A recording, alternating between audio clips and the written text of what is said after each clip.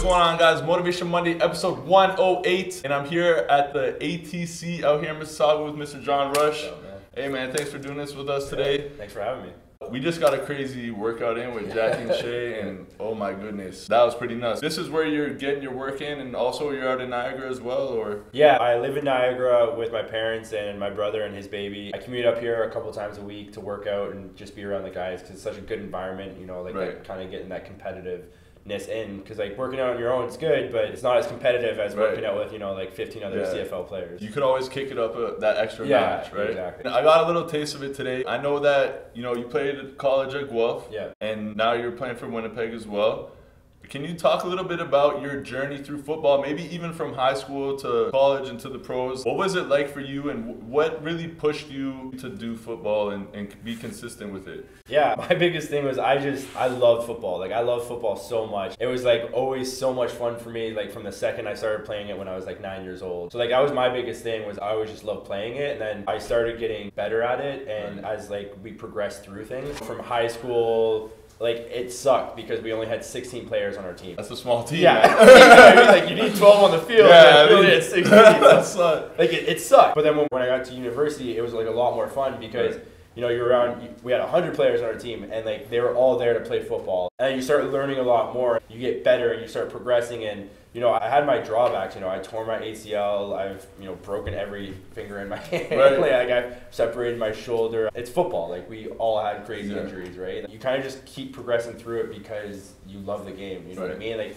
and you can kind of see that progression in, in a lot of places in your life. You don't really know if you're getting better or not. But Right. in football, you're doing it in practice and you're going right to film work and you're watching it in film and you can see yourself getting better all the time. Yeah. So that was something I thought was really amazing. And I'm just like, man, I love doing this. I love just growing and getting better all the time. Right. It's just a constant evolution of yourself. Yeah. When you get to college, it's a different ball game. And then even from there to the pros, I'm sure the jump is a lot different than it was even in college. I can imagine, you know, you're, you're playing with the best of the best. Yeah. Could you tell us a little bit about, you talked about that adversity you went through. I know personally, you know, playing college ball myself, I played at Bishops, and Yeah. I know how much, you know, film, training camp, this stuff is deadly, right? There- It's a lot. Yeah. There's so much invested into that. Was there ever a time that maybe with your ACL you went through anything? There was there ever a time that you were like, man?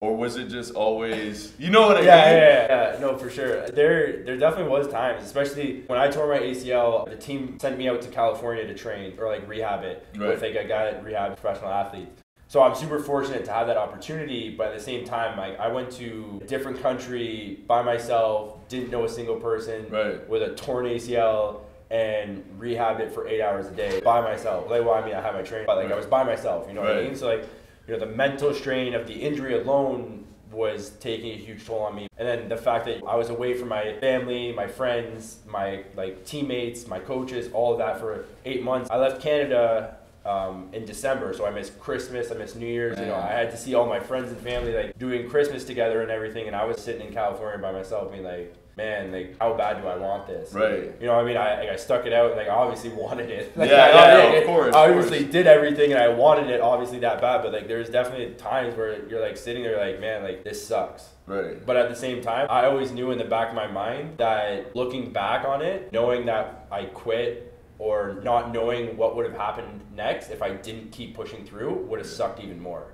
Right. It's just that fear of not knowing. Yeah. Like you'd rather put yourself out there and just give it your best shot as opposed to just not even knowing. Yeah. I could relate to that dealing with so many injuries in my career as well. But if you could say that you took one lesson out of that injury in particular, what do you think it would be as you moved on forward into your career? Definitely just to like keep going. Just like keep Just- pushing yeah. through. Like and like that like translates to like everything in life. And if you just keep pushing forward and you're taking it one step at a time, it'll get better. Like no matter what you're doing, you're gonna get better at it. Right. The situation's gonna get better. It's inevitable. Right? Right. And especially with an ACL injury, like that's an eight to twelve month rehab, right? Sometimes it, like it felt like it was just like never ending. Like I was like never gonna come back from this injury and everything like that. But all of a sudden eight months had passed by and I was better. And it was just like, wow, like, like Yeah. I got through this, you know what Yeah. I mean? Like during it, it sucked, but then after I was just like, wow, I got through this. And so it's just like all about taking that one step and just like, keep moving forward. I really like that and just the persistence and like just being resilient. Yeah. You know, a lot of people sometimes they fear the amount of time something will take. Like even you were saying for the injury recovery, but it's like we forget that that time passes anyway. Exactly. It's like even if it's a course or something or Mhm. something you want to do, you might as well just get started. I think that's a big problem a lot of people have, but I really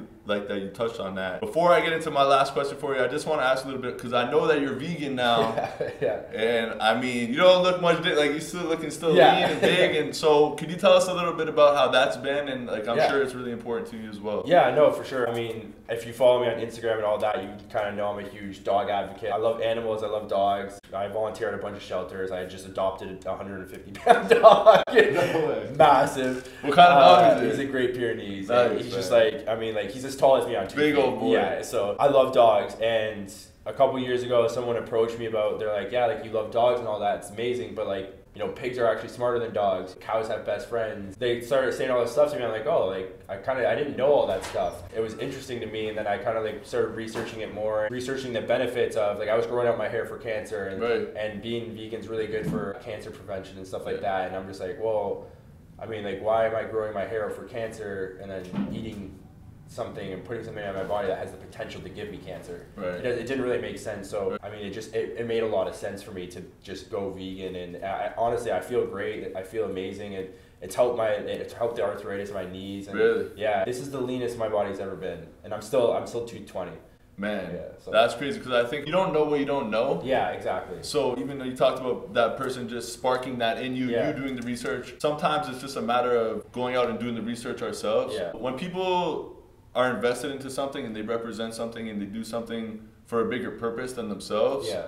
I think that it says a lot about them. So I, I definitely admire that. The last thing I want to ask you is, you've been through all this adversity, you know, so consistent, so persistent, really just embodying what it means to be resilient. What do you think is one lesson that if you could go back and talk to your younger version of yourself, maybe little John Rush on the on the football field getting his first sack lunch, Yeah. what kind of message would you have for yourself, or what one piece of advice would you give yourself? It would definitely be to do more. I feel like a lot of times, especially when I was younger, it's not that I didn't work hard. Like I worked hard my entire career. Like I, I always prided myself on being the hardest working guy. But sometimes I was the hardest working guy, and I feel like I could have still been doing more. I wasn't because I was still outworking everybody.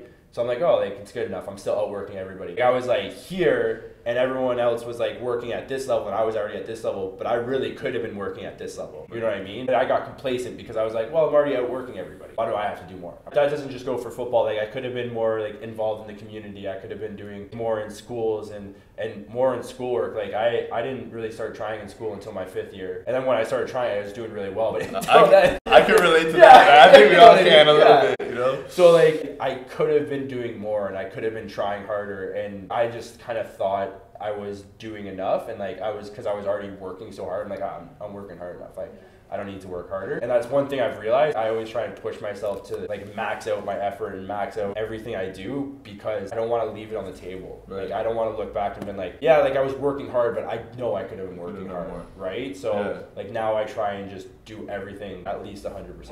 I think one of the big things for me was just walking away knowing I did everything that I possibly could Yeah. to chase that goal and then if I have to move on to the next one like whatever it Exactly, is. yeah. I really like that you said that doing more but not only doing more in comparison to others like you said because I feel like when you look at other people and try to compare yourself to them that's when you might be able to limit yourself. Yeah. But if you're competing with yourself and trying to be the best version of yourself, then you understand enough is never enough. Exactly. There's always something to do. There's always more to learn. There's always something else that, or another way that you can add value. Yeah.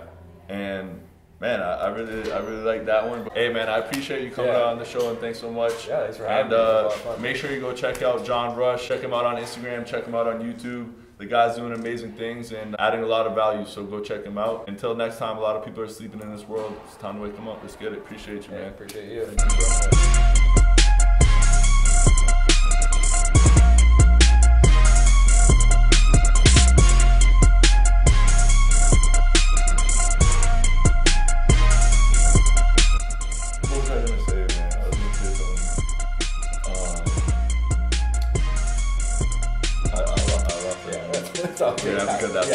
That yeah, I have to do that. so I-